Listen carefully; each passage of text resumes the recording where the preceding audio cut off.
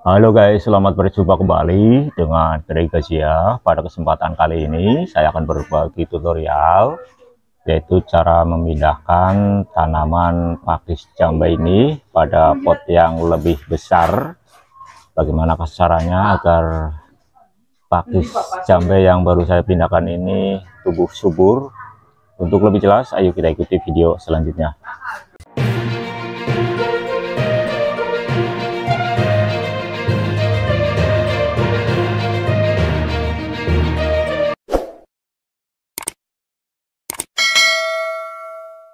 Sahabat gregas ya. Ini adalah pakis jambe di mana untuk pakis jambe ini sudah tumbuh ya.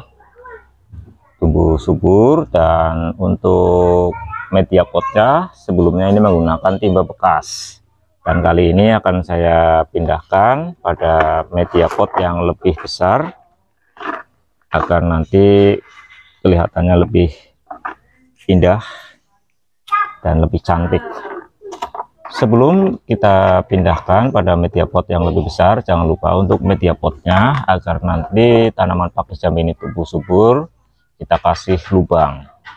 Kita kasih lubang untuk bagian bawah media pot. Tujuannya adalah untuk drainase air agar ketika pakis jambe ini disiram ini tidak basah terus untuk media tanamnya atau tidak ngejembong. Jadi kita harus kasih lubang.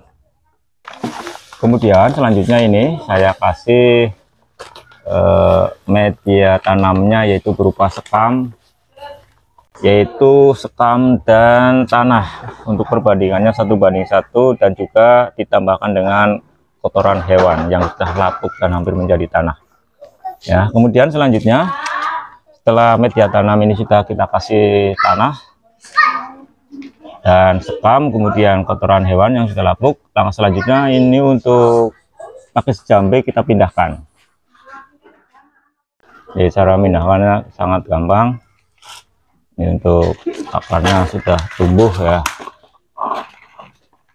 Kita masukkan kenapa kita kasih media tanam lagi? Karena untuk tempatnya ini sangat besar. Tempatnya besar kemudian kita tambahkan kembali untuk media tanamnya ya.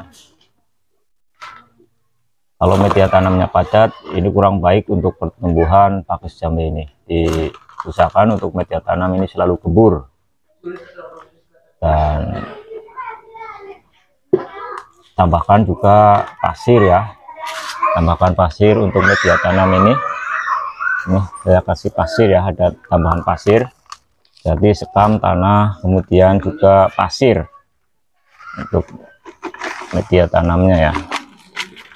Biar nanti pakis jambe ini tumbuh subur. Dan selanjutnya setelah sudah kita pindahkan ada media tanam yang lebih besar. Kita rawat dengan cara menyiramnya secara rutin setiap pagi dan sore hari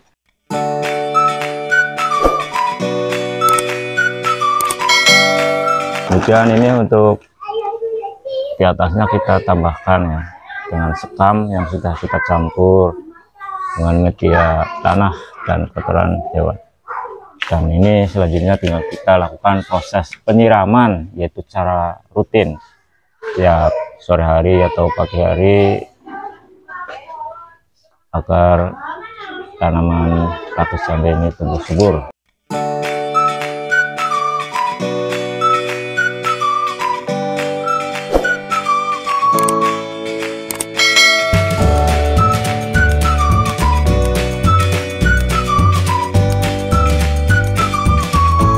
Demikian ya sahabat berikasia cara memindahkan tanaman pakis jambe ini pada media pot yang lebih besar atau media pot baru semoga video kali ini bisa bermanfaat. Terima kasih. Salam berikasia